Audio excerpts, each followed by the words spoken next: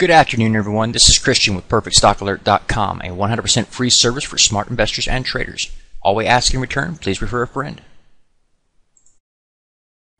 Today is Thursday, September 27th, 2012. We're looking at Baker Hughes Incorporated today, looking at ticker symbols BHI. It's right there. Uh, we can see a massive little move to, to, the upside here, a big gap. We'll talk about that in a minute.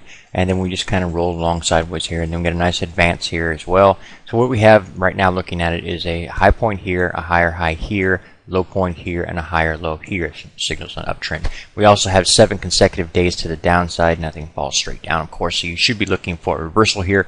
And then we get today's hammer candlestick formation, which, or you could also refer to it as a doji formation if you'd like. When dojis happen at tops and bottoms, you had one over here. Uh, basically, it's just a consolidation period, indecision by investors. They don't know which way to go. That tends to happen, like I said, at tops and bottoms. So finding it here at the bottom would make sense to me as well. Right now, I'm looking at this as an uptrend. and we'll talk about another particular angle you could look at this, but right now, like I said, I'm looking at it as an uptrend. And what I want to do here is look for confirmation the following day. A higher high than today would obviously get my attention.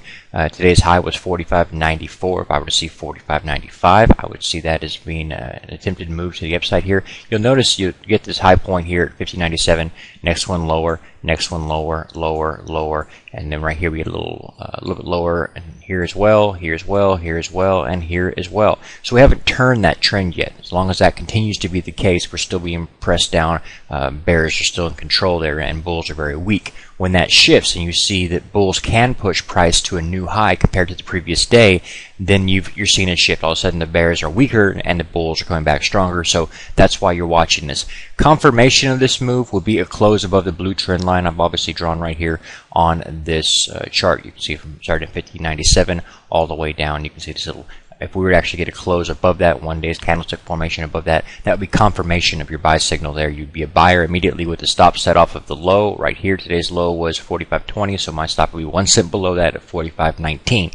I would keep a tight stop on this because we still have this gap down here that was never filled.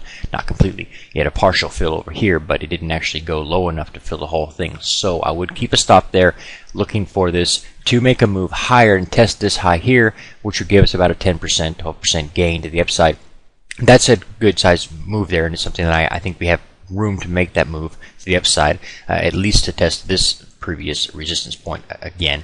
Uh, in any event, I believe that we have the room to make that move because we're already, again, oversold the ultimate oscillator. When the ultimate oscillator pulls back down to the 30 line or lower, you get in extremely oversold conditions. And we are down at that point again. So I'd be looking for this to make a move higher, and as long as the markets continue to move higher into the rest of the week.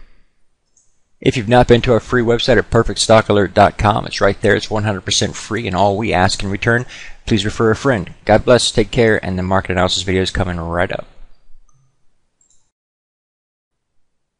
Please take a moment to review our disclaimer. The information provided herein is our opinion only. Under no circumstances do any statements here represent a recommendation to buy or sell securities or make any kind of an investment. You are responsible for your own due diligence. To summarize, we do not provide investment advice nor do we make any claims or promises that any information here will lead to a profit, loss, or any other result. These videos are for educational purposes only.